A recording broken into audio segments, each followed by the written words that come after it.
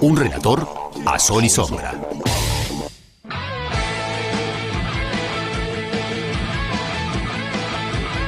Nos metemos ahora sí en el mundo tricolor y para eso, ¿quién más sino él? Leandro Hernández, muy buenas tardes, bienvenido.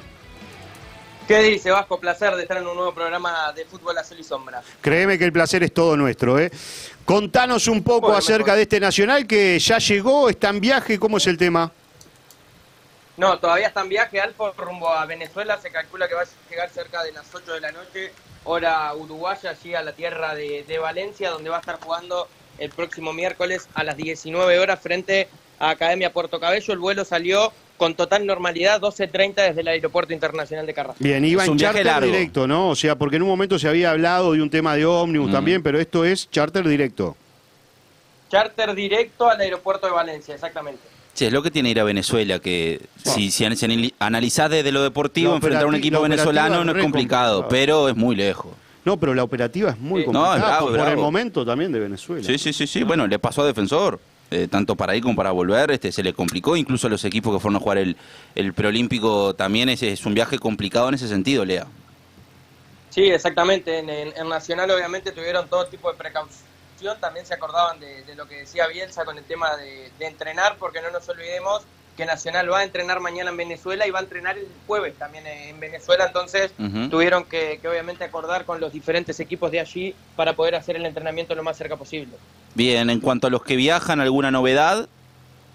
No, en realidad viajan 25 jugadores, Martín, quedaron afuera de, de la lista de viajeros Franco Romero, que había estado en el banco de suplentes en el último partido, Ah, quedó afuera también Rodrigo Chagas, que, que pasó lo mismo, estuvo en el banco de suplentes y no ingresó. Viajan o viajaron ya Tiago Helguera, Cristian Oliva, Facundo Machado, porque a nivel Conmebol tenés que tener tres arqueros, y también viajó el indio Emiliano Velázquez. Bien, con Elgueras había hablado que había surgido algún problemita, puede ser, este, por, por el tema de ser menor de edad o algo así, me pareció escuchar. Eh, no, Nacional eh, lo tienen en cuenta. Eh, obviamente en el, en el plantel principal, Martín, el tema de, de Helguera es deportivo y no es de, de- de los preferidos, si se quiere, de, de Recoba para ir desde el vamos. Bien, bien. En cuanto al equipo, ¿por dónde crees que puede ir? ¿Poder- ¿Habrá mucha variante con respecto a lo que fue el encuentro ante River? Sí, va, va a haber variantes y conociendo a Recoba no va a cambiar mucho a lo que entrenó en la jornada de hoy y a lo que entrenó en la jornada de ayer, que fue con Luis Mejía en el arco, Leandro Lozano en el lateral derecho, eh, Gabriel Báez en el lateral izquierdo, zona defensiva para Juan Izquierdo y Diego Polenta, tres hombres en la mitad de cancha, Lucas Sanabria, Mauricio Pereira y el argentino Alexis Castro, por izquierda Cristian Everé, por derecha el paraguayo Antonio Galeano y va a ser solamente el 9 de referencia Gonzalo Carnero. Bien, Bien. cambian la forma. Eh, aparece Alex Castro, que yo realmente me había olvidado de él, tengo que mencionar. Eh, va a ser el debut, ¿no? Y va a ser el debut, sí, sí, sí. sí. Y, y bueno, y después saca un, un hombre de, de referencia, ¿no? Gana velocidad. Bueno, sí. gana velocidad, es una realidad. Y mantiene a Carneiro como el 9-9. Ujú. Sí, para mí está bien el equipo que pone. Eh, a ver, Alfo, el otro día contra, contra River, él explicaba también un poco en conferencia que ya lo había hablado con Mauricio, este tema de tener que salir a presionar muy arriba y por momentos a Mauricio se le hizo muy larga la cancha porque también tenía que ayudar a Sanabria en el, en el mediocampo porque estaba solo y yo creo que a nivel de, de Libertadores sabe que es un poco más arriesgado jugar con dos, con dos delanteros de punta. Alexis Castro, por lo que vos habías dicho, Lea, es un jugador de características similares a lo que sería Mauricio Pereira, ¿no? Sí, exactamente, Martín. En realidad la función de, de esos dos va a ser seguramente presionar arriba la, la salida de Puerto Cabello. Lucas Sanabria con, con, su, con, su, con su típicas características de marca va a quedar por momentos solo en la mitad de la cancha y por el equipo que plantea va a intentar ahogar a, a Puerto Cabello en la salida. Mí, a mí realmente Puerto Cabello no me pareció nada del otro mundo. No. Eh, creo que hubo muchos errores de defensor en esta ida y vuelta que se tuvo por, por la Copa Libertadores. Es verdad que tiene un juego aéreo interesante. Es verdad que hubo jugadores en el banco de suplentes el otro día que podían haber cambiado un poco más la situación en el encuentro. No quiero vender la piel del oso antes de cazarlo, pero para el plantel que tiene Nacional, yo creo que no, te, no, no sería eh, muy raro que el equipo tricolor estuviera en la próxima fase de la Copa Libertadores. Sería hasta lo más lógico. Y sería un golpe muy fuerte Sí. de para Nacional quedar eliminado ante este equipo. Sí, de- fuerte, eh, Martín, tanto en lo económico como, como en lo deportivo. Al cuerpo técnico lo que le llamó más la atención, Alfo, fue en el tema de la salida, que a veces el jugador que hacía la salida después terminaba de nueve, entonces era un poco que tampoco daban mucha referencia en el, en el tema de marca dentro de la cancha. Eso fue lo que más llamó la atención en el partido que pudieron ver en el Centenario. Porque más Nacional, si avanza esta ronda, o sea, si llega a la tercera fase de, de la Libertadores, creo que ya se asegura por lo menos Sudamericana, ¿no? Sí, exactamente. El, el eliminado en la fase 3 pasa a fase de grupos de, de Sudamericana, algo que, que cambió el, el, año pasado. Recordemos que si Nacional avanza, va a jugar contra Always Ready o Sporting Cristal. Bien, bien. También rivales que no parecieran en nombre ser, ser problema para Nacional.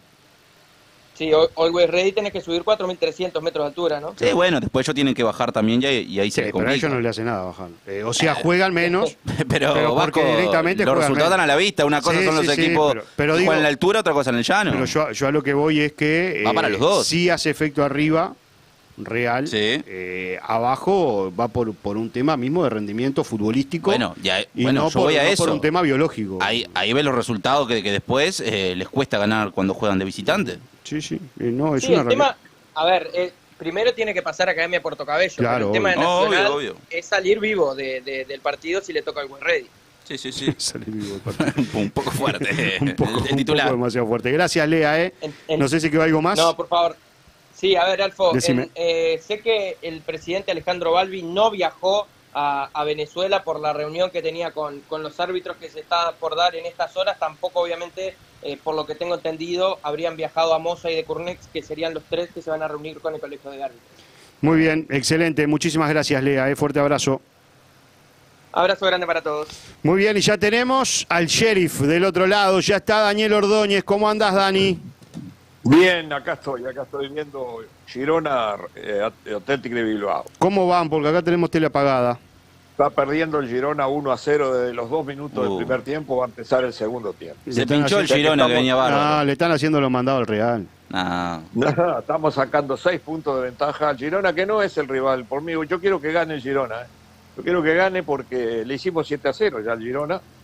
Pero quiero que gane porque quiero que desplace a- al Barcelona al- a la tercera posición, dado que a la, a la basura no lo podemos mandar todavía, por lo menos que lo baje a la tercera posición. Además, el- lo vamos a mandar. además, Dani, si no me equivoco, si el Girona termina segundo, la Supercopa de España del año que viene no la jugarían ni el Atlético de Madrid ni, ni tampoco el Barça. No, lo que no sé si el Girona puede jugar Champions. ¿Por qué no Creo podría? que no. Y porque pertenece al grupo City. Ah, mira. Y hay una reglamentación que impide que dos equipos de un mismo dueño puedan jugar. Había toda una discusión en tanto si sí o si no, qué sé yo. Estaba ahí Pero que eso es todavía- no- no una es- reglamentación de UEFA. Es una reglamentación de la UEFA, exactamente. Ah, claro. Sí, sí, sí. Sí, sí, sí. Y está bien, ¿no? Me parece que hay que ir avanzando en eso y, y en algún momento van a tener que reglamentar la eliminación de los eh, equipos estados. No puede un estado competir con un club. A la larga van a quedar los equipos estados, City, PSG y algunos más, y va a quedar enfrente solo el Real Madrid eh, y tal vez el Bayern, que son los que lo pueden enfrentar de alguna manera en lo económico, en lo deportivo, en lo político, en lo cultural. Eh, no, no, no, no, no está bueno que los estados participen, porque los estados árabes pueden poner mil millones de euros para un jugador Ujú. si lo sacan del petróleo. El día que se acabe el petróleo se acaban los equipos también. Sí, Sí, es una realidad. una Dani, realidad. no te voy a preguntar de Peñarol bueno. y Nacional, porque lo vas a hablar ahora largo y tendido en tu programa. Sí, en Solo e- que quedaron que los dos quedaron en deuda. Eso es lo único que Bien, podemos decir. Los- bien. Los, dos quedaron en deuda. Excelente. Y 2030 lo vamos a estar discutiendo en Fútbol Azul y Sombra Sí, señor. por Esdrújula TV. Pero sé que eh, no, no, no sos de mirar el, el fútbol juvenil, no sé si llamarlo fútbol juvenil No. o no a, Sí. a la tercera división, pero ¿cómo, ¿cómo te cae esta noticia de que en este presente año no va a ser obligatorio para los clubes de primera eh, jugar ese campeonato de tercera? Ya hay tres equipos que se bajaron, Cerro Largo, Rampla y Cerro. Y hay dos equipos de la B que han pedido, han solicitado jugarla como Montevideo City Torque y el equipo de Albion. Bueno, eh, el, fútbol viene en una regresión en esa materia. Yo me crié viendo jugar las reservas.